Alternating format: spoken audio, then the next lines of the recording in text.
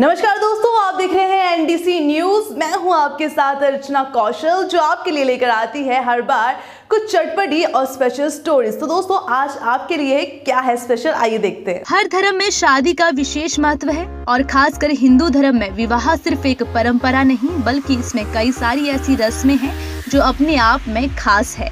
हल्दी संगीत वरमाला से लेकर विदाई तक के बीच बहुत सी रस्में होती हैं, जिन्हें हम देखते तो बहुत बार हैं, पर इनका सही अर्थ हमें नहीं पता होता।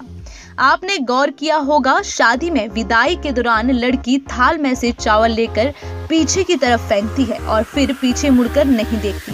ये चावल फेंकने की रस्म शादी की सबसे अंतिम और बेहद महत्वपूर्ण रस्म होती है।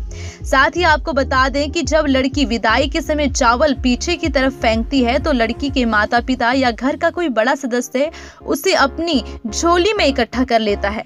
तो आखिरकार क्या है इस रस्म का महत्व और ये क्यों निभाई जाती है? आइए जानते हैं इसकी वजह।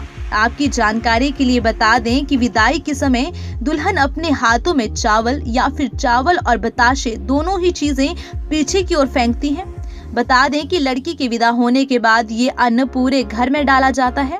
जी हाँ दरअसल ऐसा माना जाता है कि एक बेटी जिसे घर की लक्ष्मी माना जाता है, अगर वो विदाई के समय ये रस्म करती है तो उसके घर में, यानी कि उसके मायके में कभी अन्न और धन की कमी नहीं होती। इसी के साथ ही जब नई नवेली दुल्हन अपने ससुराल पहुँचती है तो दरवाजे पर पूजा करके दूल्हा और दुल्हन का स्वागत भी चावलों से ही किया जाता है।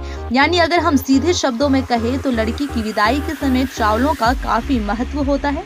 इस रस्म को निभाने के पीछे का मतलब ये है कि नए दंपति के जीवन में हमेशा खुशहाली बनी रहे। इसी के अलावा ऐसा माना जाता है कि चावल फेंकने से नए दंपति को संतान, सुख की प्राप्ति होती है और उनके भाग्य में भी हमेशा वृद्धि होती रहती है।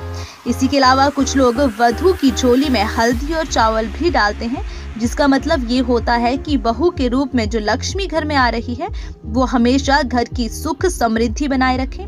वैसे आपको बता दें कि विदाई के समय लड़की के चावल फेंकने का मतलब ये भी होता है कि वो अपने माता पिता का शुक्रिया अदा कर रही हैं और साथ ही अपने जीवन की नकारात्मकता को बाहर फेंक रही हैं ताकि उसका आने वाला जीवन हमेशा खुशहाल रहे।